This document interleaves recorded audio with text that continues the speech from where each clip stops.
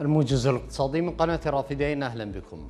ارتفعت أسعار الذهب في الأسواق المحلية في بغداد والمحافظات الأخرى وبلغ سعر مثقال الذهب عيار 21 أكثر الأكثر تداولا 343,840 دينارا مستثناة منه أجور الصياغة.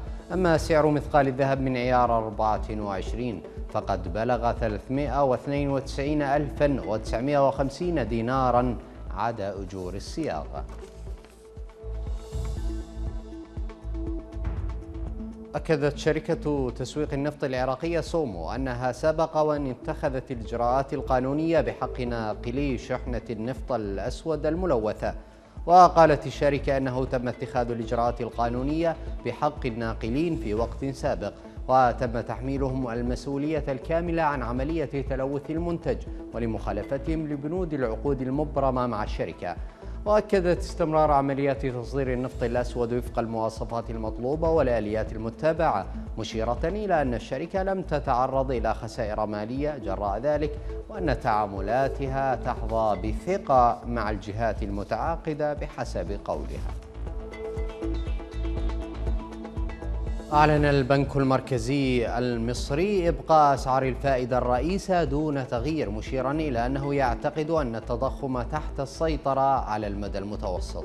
وأبقت لجنة السياسة النقدية سعر الفائدة على الإقراض لليلة واحدة دون تغيير عند 12% وسعر الفائدة على الإيداع لليلة واحدة دون تغيير عند 11% وأوضحت اللجنة أن المعدل السنوي للتضخم العام في مصر ارتفع إلى 14% في شهر آب من 13.6% في شهر تموز بينما ارتفع التضخم الأساسي إلى 16% من 15% خلال الفترة ذاتها. تراجعت أسعار النفط اليوم في ظل مخاوف الركود وصعود الدولار على الرغم من أن الخسائر كانت محدودة بسبب المخاوف بعد حملة تعبئة عامة جديدة في روسيا وتعثر محادثات الاتفاق النووي الإيراني.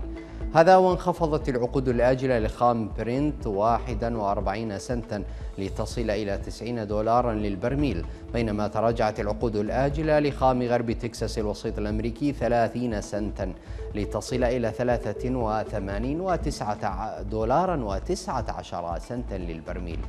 هذا ورفعت بنوك مركزية في أنحاء العالم أسعار الفائدة في أعقاب رفع البنك المركزي الأمريكي سعر الفائدة بمقدار 75 نقطة أساس لثالث مرة. الأمر الذي زاد مخاطر التباطؤ الاقتصادي. أعلنت وزارة العمل الأمريكية أن أكثر من 45 مليار دولار من إعانات البطالة ذهبت عن طريق الاحتيال إلى أناس لا يستحقونها خلال تفشي كورونا والأعداد الكبيرة من العمال الذين تم تسريحهم بسبب تداعيات الجائحة. وأظهر تقرير جديد للمفتش العام في الوزارة أنه بين شهر آذار عام 2020 ونيسان عام 2022 صرف ما مجموعه 45 مليار دولار من إعانات البطالة عن طريق الاحتيال فيما قال المفتش العام لاري تورنر في بيان إن الأرقام تؤكد اتساع نطاق المشكلة مشيرا إلى المستويات غير المسبوقة للاحتيال والمدفوعات غير المستحقة الأخرى.